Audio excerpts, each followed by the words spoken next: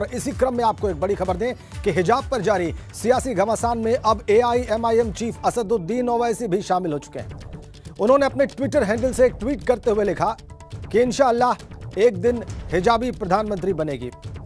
उन्होंने एक वीडियो भी ट्वीट किया है और इसमें वो कह रहे हैं कि हिजाब नकाब पहनकर बच्चियाँ कॉलेज भी जाएँगी, डॉक्टर भी बनेंगी, कलेक्टर भी बनेंगी, बिजनेसमैन और एसडीएम भी बनेंगी।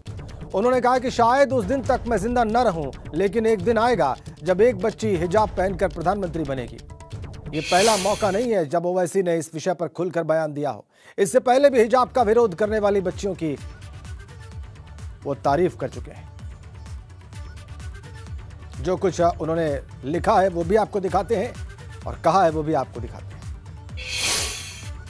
और हम अपनी बेटियों को ताला अगर वो ये फैसला करती है कि अब्बा अम्मी, मैं हिजाब पहनूँगी। तो अब्बा अम्मी पहने बोलेंगे, बेटा, पहन। तुझे कौन रोकता देखेंगे इंशाअल्लाह हिजाब निकाब पहनेंगे कॉलेज को जाएँगे डॉक्टर भी बनेंगे कलेक्टर भी बनेंगे एसडीएम भी बनेंगे बिजनेसमैन भी बनेंगे।